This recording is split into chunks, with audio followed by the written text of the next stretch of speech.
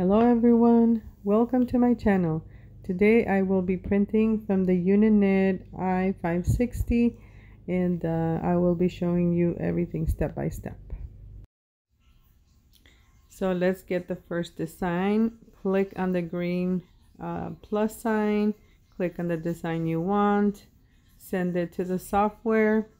Takes a few seconds to load in um, crop it to size so you'll see that on the bottom there where you click on crop and it'll open another window and you're able to crop it as close as you want to the image in order for you to take advantage of the whole uh, printing sheet. Now you won't have to crop every single design. It all depends on how it was made um, you just use your criteria and um, so now here what I'm doing is just clicking create so it'll save it and it'll go back to the original screen as you will see here and then I will enlarge it and try to make it fit on the whole sheet just so that um, I can get a bigger design for the shirt. Just something to remember that whenever you are enlarging it uh, make sure that you are staying within the lines and you'll be able to see if you are going over because on the outer side of the image it'll turn red and that means that you have passed the lines. So you'll need to make it smaller and just stay within the lines. You you can zoom zoom in like I'm doing right now. So you'll you'll be able to see the line margins that it has and I am getting it as close as possible because I want a big image.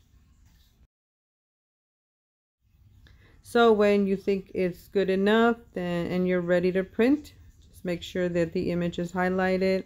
Click on the rainbow printing icon and it'll send it to the printer.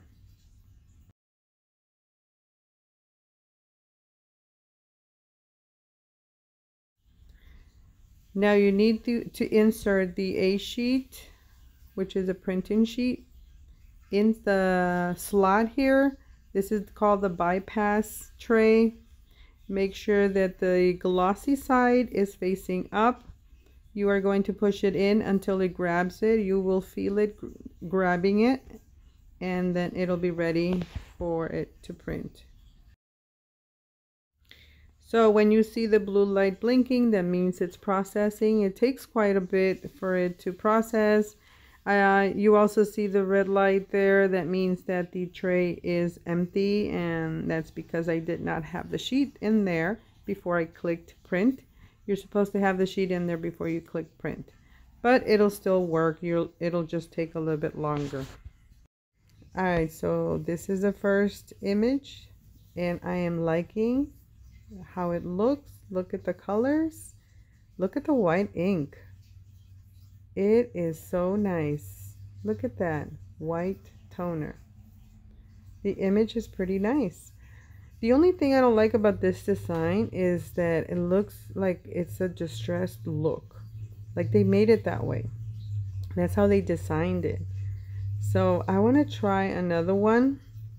Another different design and see how it looks.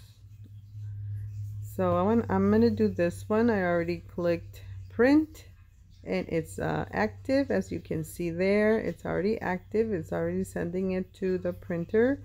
And this time I do have the sheet in the printer already in the slot. So the red light won't be blinking, just the blue light. And look, it says processing. So now let's wait for it to print.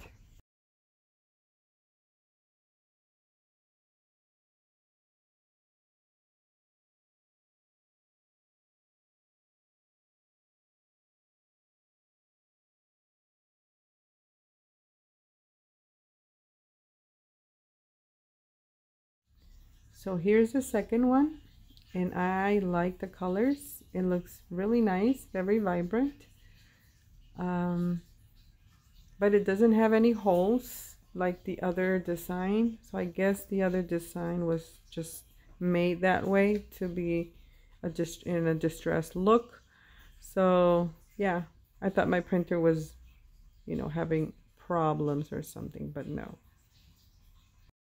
So here I'm just showing you one more time to how to insert the sheet, shiny side up, make sure it grabs it and click print and this will be another same image that I did for the man with the cow. So let's see how it comes out.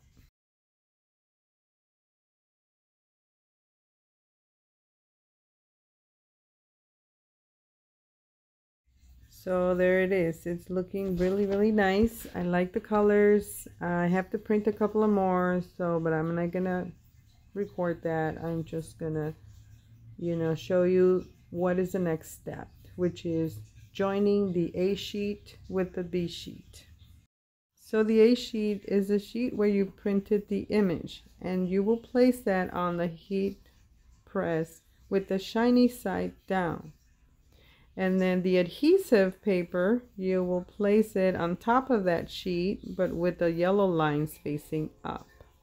Okay, and then you would just align everything together, fold uh, one of the corners so you'll be able to pull it apart when it comes to that part and then you put a piece of butcher paper or a piece something underneath so that you won't get glue on your heat press and then cover it either with a Teflon sheet or one of these wax papers that they give you when you get the printer. I have the heat press set for 300 degrees Fahrenheit for 120 seconds and uh, very very light pressure. You do not need a lot of pressure. At least that's what worked for me. So here comes the fun part um, you're going to have to get a piece of cloth maybe two I am grabbing two because this thing is really hot and you will burn yourself. So you need two pieces of cloth that are thick.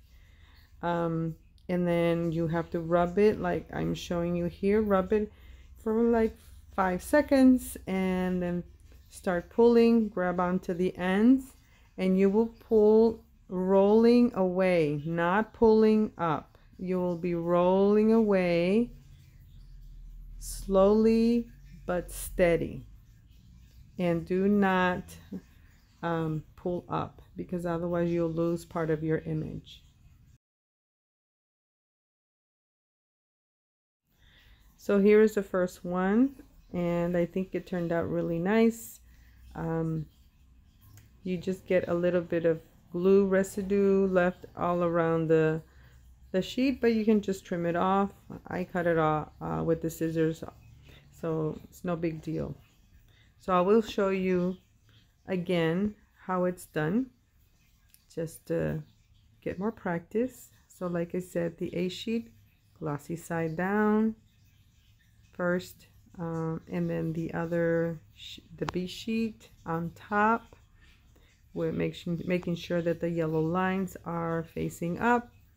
Make a little fold and cover it and then press it. I wanted to mention something that the printer comes with um, its own instructions on how to set the time and temperature and pressure. I did follow the instructions, but it didn't work for me. I am giving you this time and temp and pressure because this is what works for me. So you will have to find what works for you.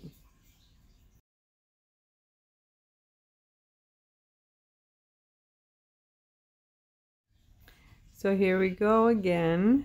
Um, we're going to take off the sheet, rub it with the cloth. It's about five seconds that you can do that. No more than that is needed. And then start pulling away. Make sure you grab your pieces of cloth because it is hot. Let me tell you, it is hot. So, and also make sure you're keeping it laying on the bottom plate or platen and pull away, rolling away, I should say, not um, lifting up. So slowly and steady.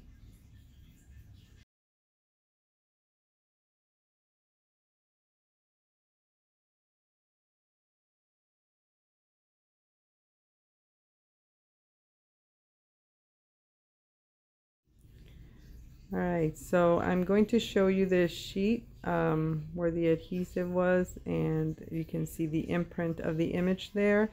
That means that the glue just went on the white toner, which is where it's supposed to be. All right, and now I'm going to show you how to press it.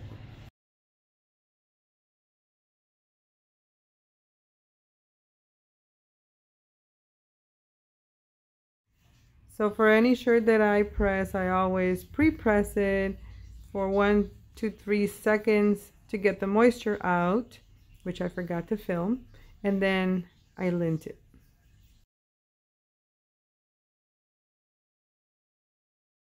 Now to press the design, you will keep the temperature at 300 degrees Fahrenheit, but the time will be only 30 seconds and the pressure will be very very high pressure and uh, also when you are done pressing it. Do not peel away. You have to wait till it cools down completely. All right so then let's press all the shirts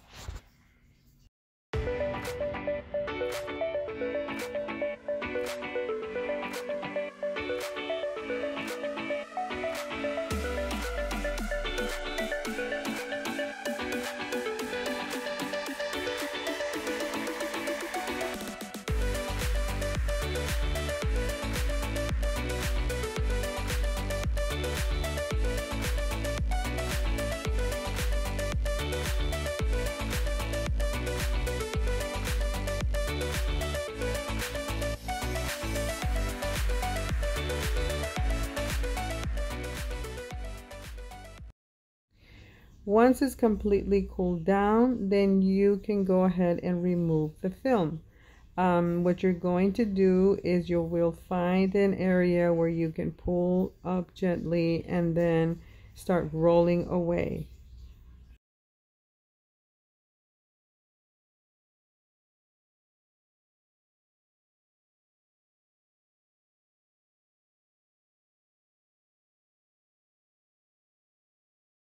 All right so I wanted to remove the film again the same way I did the first one and it didn't work. I struggled with this one so much and you will see I left it in the video so you can see. Um, I had to repress all the shirts again except for the little one. That one was pretty fast. I was able to pull it off. I had no trouble. Um, but the other ones I had to repress them all because I guess I just didn't press it correctly. So you, whenever this happens that you cannot pull from one edge, you I mean you just know that it's not gonna roll away like it should, because it should roll away. Um, that means that you need to repress it again for the full 30 seconds, and then wait till it cools down, and then pull it off. When I went back and repressed the other ones, I waited for them to cool down and I was able to remove them as I did the very first one. Um, I had no trouble after that. So there's something for you that might help you in case you run into this kind of problem.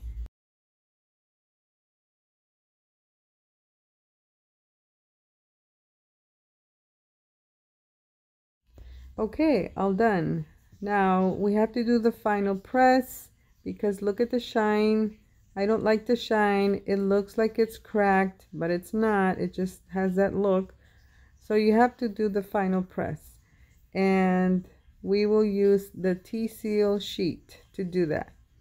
Uh, you can also use Teflon sheet, whatever. It doesn't matter.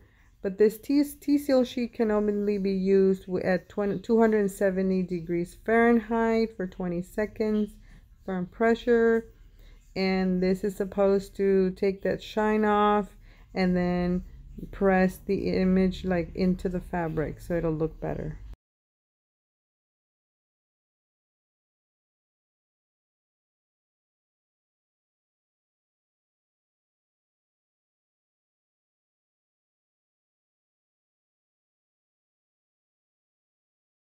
When the 30 seconds are up, you have to count five seconds and then peel away. So peel away and there it is. All the shininess is gone. No more shine. No more looking cracked. It looks like it's pressed into the material. The colors came out okay. Not very vibrant, but I'm thinking it's just the way the design was made. These are other shirts that I made using the printer and I think they turned out fabulous. I hope you liked this video. I hope you learned something and if you do have any questions, leave them in the comments below and I'll be happy to answer them. And um, don't forget to subscribe, to share my videos, and to like my videos.